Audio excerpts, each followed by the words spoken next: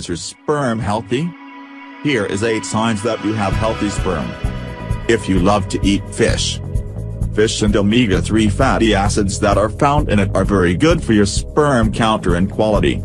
Fish helps to keep your semen smooth and increase the motility or swimming speed of your sperms. You don't wear tight underwear.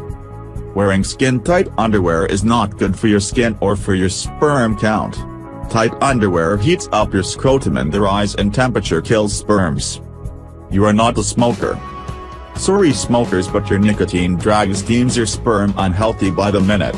Smoking reduces sperm count and also affects the DNA that your semen carries. You don't ride bikes. Riding a bike in the traffic for several hours heats up your scrotum. The extra heat can kill your sperms because they need a very moderate temperature to survive. You don't keep mobile phones in your pocket. Radiations from cellular phones can actually reduce your sperm count. These harmful radiations obliterate your sperms and even damage the DNA in it. You have a flat stomach.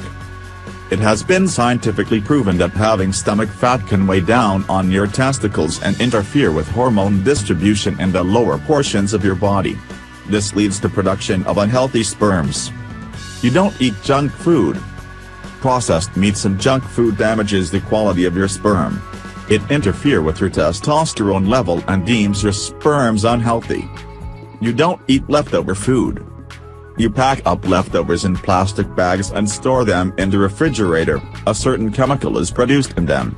This chemical can kill your sperms and leave you with a low sperm count problem.